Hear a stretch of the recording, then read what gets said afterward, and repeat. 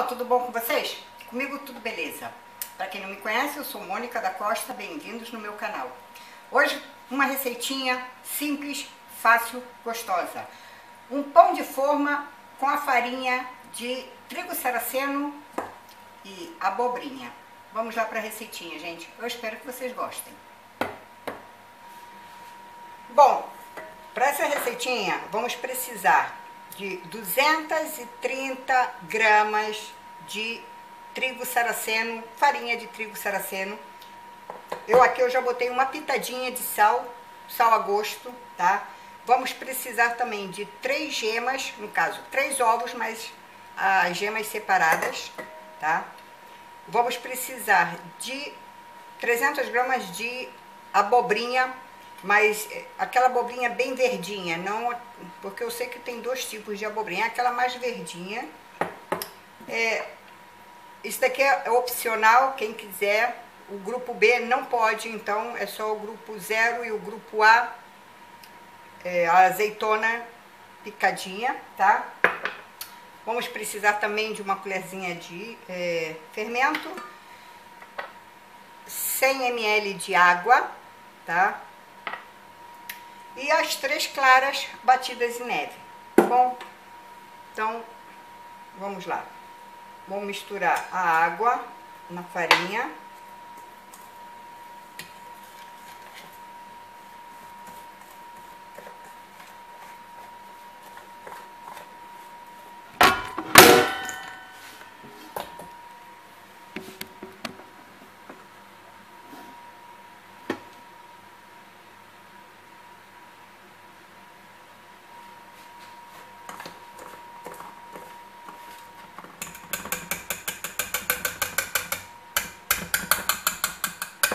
sempre entra. Isso. Vamos pôr. Ah, então, gente, olha o pão, como é que ficou, tá? Agora eu vou cortar. Minha filha já veio aqui, já roubou um pedacinho. Olha, vou mostrar bem pra vocês como é que é. Olha, bem, fica bem elástico, a crosta fica crocante e ele fica bem macio dentro, tá vendo? Com uma textura... É, eu vou cortar até a parte daqui para vocês verem bem como é, fica crocante. Ó, ó.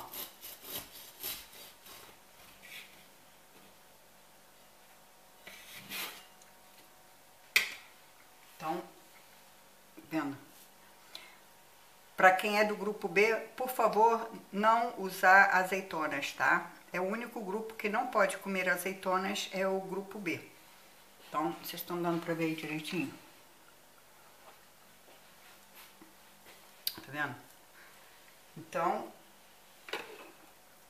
eu recomendo muito fazer esse pãozinho. Ele pode servir até para o seu pão de manhã, tá? No café da manhã. Tiro aqui um pedacinho.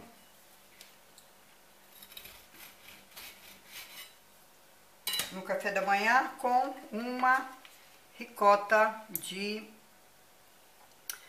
é, cabra, tá? Dê sempre preferência para as coisas que fazem bem e não as que fazem mal, tá, gente? Por favor. Então, vamos provar, né?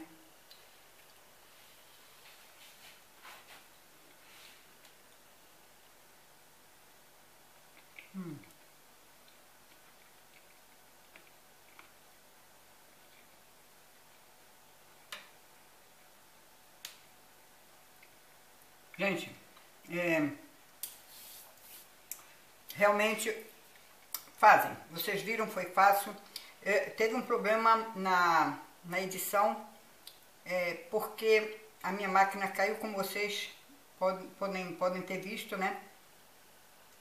Eu estava registrando, a máquina caiu, eu pensei que estava registrando direito, mas estava tudo embaçado, então eu cortei, mas o os ingredientes, é, o último é só as claras, tá? Você pode botar tudo, mexe bem e por último as claras devagarinho. Então não tem muito segredo. E depois vai, é, eu pus na forma de silicone, tá? e a 180 graus por uma hora, uma hora e dez minutos, tá? É, detalhe, quando for uma hora, você tira o pão da forma, tá? E bota ele de cabeça para baixo na grelhada da... Eu acho que se diz assim, grelhada, né? Na, na gradinha da, do forno, tá? Ele de cabeça para baixo. Para ele também é, ficar do, é, crocante aqui, tá? Então, pessoal, por hoje é isso. Eu espero que vocês tenham gostado. Desculpe aí o problema que teve aí na, na parte que eu estava preparando a massa, mas não tem segredo nenhum. E se vocês gostaram, não se esqueçam de deixar um joinha para mim. Não se esqueçam de compartilhar. E se por acaso você não é inscrito, por favor, se inscreva. Para vocês, um beijão e boa noite, porque aqui já tá tarde. E um bom dia para quem estiver me assistindo. Fiquem todos com Deus, tá? Tchau.